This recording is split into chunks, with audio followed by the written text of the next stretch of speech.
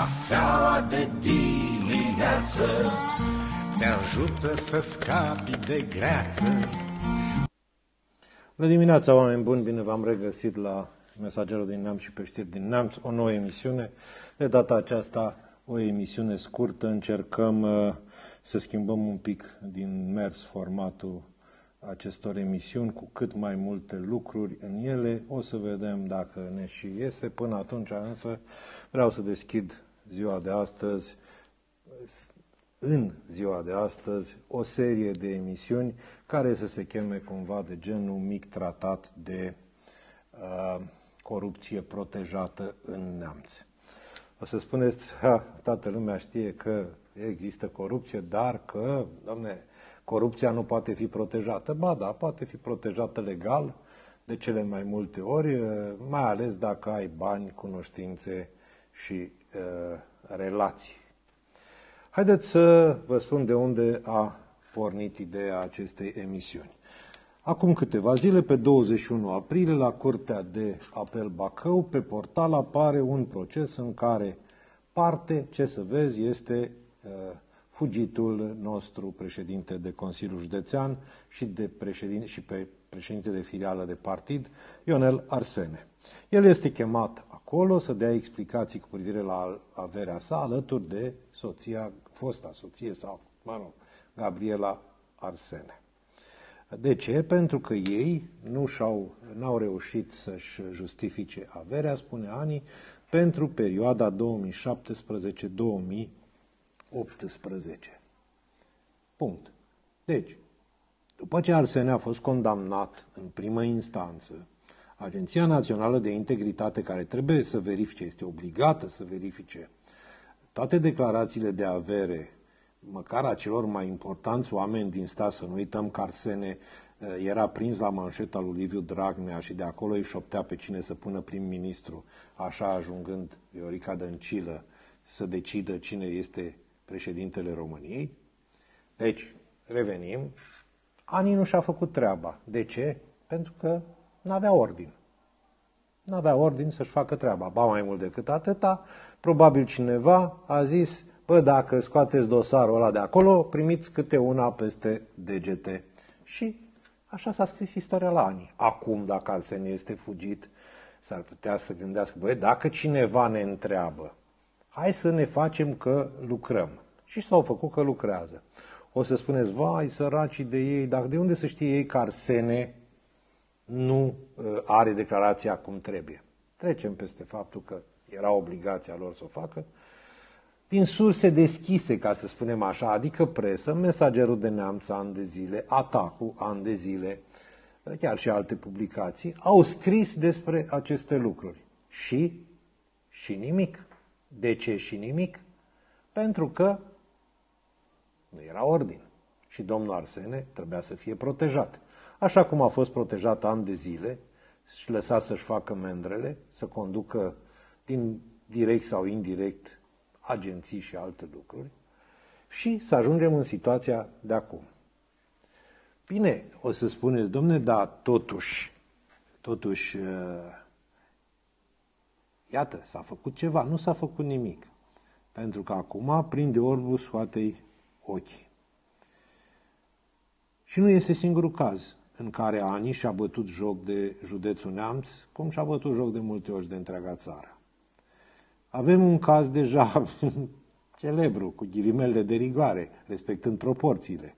O primăriță de la Crăcăoani a avut, să-i spunem așa, nesimțirea de a-și numi băiatul administrator public al comunei. Ca așa a vrut ea.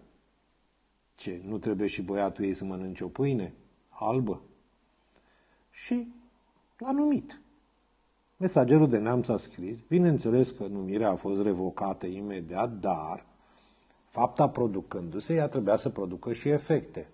Ani a fost sesizată și a reacționat după câteva luni bune. Și de atunci lucrurile stagnează, doamna primar este pe funcție și face ce vrea mușchii ei. De ce? Pentru că poate. Ba mai mult decât atât, acum caută protecție de partid. ca să poată să meargă în continuare, să scape cu un fel de admen administrativ, o chestie de genul ăsta, dacă nu ia măcar cineva din familie. Mai sunt exemple. Pe vremea lui Gheorghe Ștefan exista un consiliu local, cum există și astăzi de altfel consiliul local, plin de incompatibili sau aflați în conflict de interese. A, acest lucru s-a dovedit când? După ce s-a terminat mandatul. Deci, niște oameni mulți, mulți, mulți, mulți, aproape jumătate, din zona aia care avea majoritatea, erau ba directori de societăți comerciale ale primăriei, ba aveau firme și au fost declarați incompatibili sau în conflict de interese. Oamenii ăștia au votat ani de zile, au votat ani de zile hotărâri pentru Piatra Neamț. De multe ori, multe dintre ele imbecile, care au putut orașul în situații absolut de neconcepute. Ei bine, nimic nu s-a întâmplat. Avem aceeași situație și în momentul în care s-a acordat uh, s-au acordat niște sume imense de bani clubului de fotbal Ceahlău de către primăria Piatra Neamț și uh, Consiliul Județean. Băieții de la Ceahlău au decontat pe aceeași factură bani și la primărie și la Consiliul Județean. Pe asta scrie clar infracțiune. Deci nu se discută. Și au fost protejați de lege, de pile, relații, cunoștințe și vinovați au fost făcuți cine? Secretarii celor două consilii și cei care au inițiat hotărârile, nu cei care au beneficiat de bani și care au decontat cu aceeași factură două lucruri. Bine, o să recupere banii la primăvara, nu știu, era să spun un cuvânt urât, apropo de vară, în rate, că nu pot ăia să plătească, dar cei care au votat hotărârile, cei care au beneficiat de bani și care au produs, practic, un, un fals care au luat sume la dublu, sunt bine mersi. Ba mai mult decât atât, sfidează și acum fără niciun fel de jenă. Asta este Agenția Națională de Integritate, care este o instituție ineficientă și, am putea spune, aproape inutilă în acest moment, pentru că o constatare a ei devine definitivă după 3-4 ani 2, 3, 4 ani, când nu se mai poate face nimic. Și atunci, de ce să plătim noi niște salarii unor oameni care nu pot să facă nimic? Să mai aduc aminte, țineți, țineți dumneavoastră minte că Ionel Arsene, o primă faptă care i s-a imputat, a fost că a luat 100 de mii de dolari sau euro, nu mai țin minte, de la domnul Gheorghe Ștefan ca să ajungă la cine? La șeful Ani, Georgescu, ca să-l facă pe culiță tărâță. Tot Ani.